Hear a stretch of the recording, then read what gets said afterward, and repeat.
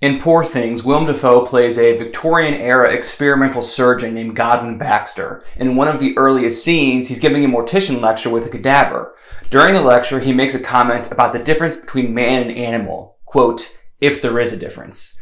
Honestly, that's a pretty good distillation of director Yorgos Lanthimos' whole thing. In Dogtooth, the children are the metaphorical dogs. In The Lobster, the characters are literally turned into an animal of their choosing if they fail to find a mate. In The Killing of a Sacred Deer, Colin Farrell's wife and kids are metaphorically the titular deer, one of whom must be sacrificed. In The Favorite, Queen Anne keeps rabbits as stand-ins for her children that were either stillborn or died shortly after birth. Lanthimos' movies are about how people are beasts, metaphorically or otherwise, and the ways we attempt to separate ourselves from beasts the silly little norms and customs and rules of society that we create for ourselves, those things often don't hold up under the slightest bit of scrutiny. Poor Things opens with a woman jumping off Tower Bridge in London to her death. Kind of, sort of, to her death. Dafoe's Godwin character spends his spare time conducting bizarre experiments on animals, like putting a duck's head on a dog's body and putting a bulldog head on a chicken body and stuff like that. And also conducting some Frankensteinian experiments on humans, including reanimating the woman from Tower Bridge, who now goes by the name Bella Baxter and is played by Emma Stone. Speaking of Frankenstein, Mary Shelley's father was named William Godwin, so Dafoe's character being named Godwin Baxter is probably a winky nod to Frankenstein's origin.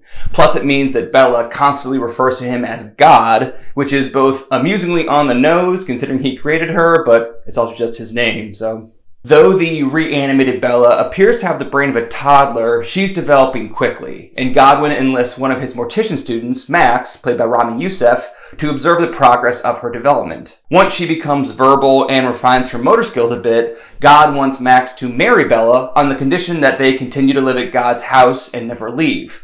But when God tries to draw up a legal contract saying as much, the curious and intrepid Bella instead opts to run away with the lawyer, a Lothario wonderfully named Duncan Wedderburn, played with relish by Mark Ruffalo. Wedderburn whisks Bella off to Lisbon, where she discovers, among other things, the pleasures of the flesh, or furious jumping as she calls it. Then they're on a luxury cruise ship, they make a pit stop in Alexandria, they wind up penniless in Paris, and finally, Bella finds herself back in London by the end of the movie. All along, Bella is constantly progressing with her language, cognition, awareness of herself and the world around her, social cues, critical thinking, empathy, and a sense of justice. I found an awful lot to love here. Holly Waddington's costume work for starters, particularly with Bella. She's initially in fluffier, looser fitting blouses, often with a mismatched, sparer bottom half, kind of like she's a toddler dressing herself. As Bella's sense of herself matures, her costumes get sharper, more form-fitting, what Emma Stone calls more militant, as she becomes more sure of herself and has more purpose. The production design is remarkable too, period appropriate to an extent, but also with surreal modern flourishes that fit the Lanthimos aesthetic. It has a very dollhouse feel, maybe because they actually built all these locations as elaborate composite sets. Godwin's house in the lab, the ship, the city streets of London, Lisbon, and Paris, all constructed on a soundstage in Budapest. Robbie Ryan's cinematography is great, Oscar nominated for the second time on a Lanthimos movie. Jerskin Fendrix's score is great, in his feature film scoring debut. Tony McNamara's script is really funny. I really liked his work on The Favorite as well, but this is even better. So like I said, an awful lot to love here, but it's hard for the headline to not be about Emma Stone's performance, both in its specificity, but also in its breadth. From a babbling toddler who's only half potty trained to a thoughtful, bilingual, cunning socialist. It's bravura. I deeply admire Lily Gladstone's work in Killers of the Flower Moon and Sandra Hüller's work in Anatomy of a Fall, and I'd be thrilled if either of them won Best Actress, but I don't know, man. No one's doing it like Emma Stone. This is career best work in a career that's already seen three other Oscar nominations and a Best Actress statue. Elsewhere, I always love to see Willem Dafoe in anything, particularly in bizarre period pieces. He's just got a face that fits well in a world like this, even after four hours in the makeup chair. I kind of feel the opposite about Ramy Youssef. Before seeing this, I had a hard time picturing him in a Victorian era period piece. Maybe because I'm just too used to seeing him in a Mets hat, but I was wrong. He's really great in this. Speaking of millennial comedians, Jerrod Carmichael is here, who I really admire as a comedian and as a performer, but He might be in a bit of a different movie than everyone else. Then to the last bit of the movie, we get surprise Chris Abbott, and he is not in a different movie than everyone else. I legit thought the movie was about to end, and then Chris Abbott just walks in and starts throwing fastballs for the last 10 or 15 minutes. I was kind of hoping for a supporting actor nomination for Dafoe, but I'm not really upset that it went to his co-star Mark Ruffalo, playing an absolute cad a ridiculous little man with wildly misplaced confidence and no self-awareness. After one of their first marathon lovemaking sessions, he cautions Bella not to fall in love with him because he's only good for some short-lived fun. And then within like 40 minutes, he's proposing marriage to her. And once he's jilted, he does a fun streetcar named Desire homage.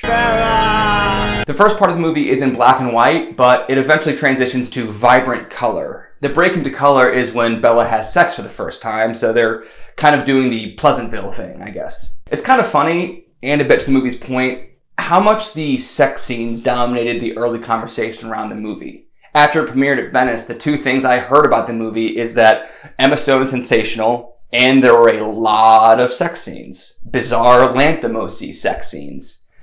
And yeah, I guess relative to our current moment of pretty sexless media for the last decade or so, there's quite a bit, but it felt to me that there was disproportionate conversation around them. And to the movie's point, Bella doesn't think sex is a big deal, despite Mark Ruffalo's horror and condemnation at her sleeping with men who aren't him. Again, the movie tracks Bella's growth from an effective toddler to a full-grown adult, and that development includes a sexual awakening, but that's just one component.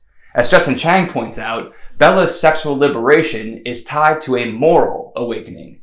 This is a non-exhaustive list of Bella's discoveries. In London, language and masturbation. Then in Lisbon, intercourse, desserts, dancing, and what she sees as boring limitations of polite society.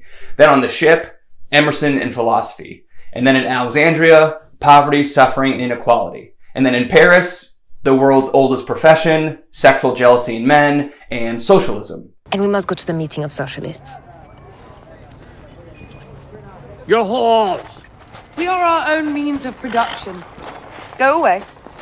Finally, back in London, Bella discovers the contradiction of human existence and consciousness, something none of us asked for but are given anyway. Emma Stone has said that this is a movie about a woman without shame. Yorgos Lanthimos said it's about a woman who has a second chance, someone who hasn't been molded in a very specific manner to perceive the world in a certain way. I also kind of see it as a movie about a woman's sexuality and the men who try to control it. And when I say the movie's about that, I mean like structurally speaking. In the first act, she discovers self-pleasure and is told not to do it by her male caretaker. The break into two is when she discovers how much she likes furious jumping. And Duncan initially seems to like her mostly because of her sexuality, but he quickly becomes a jealous keeper of it. Once Bella really begins to discover her sexuality beyond just him, he then feels threatened by it. At one point, they are on a snowy Paris sidewalk with no money and nowhere to go, and he yells at her, a whore is the worst thing a woman can be.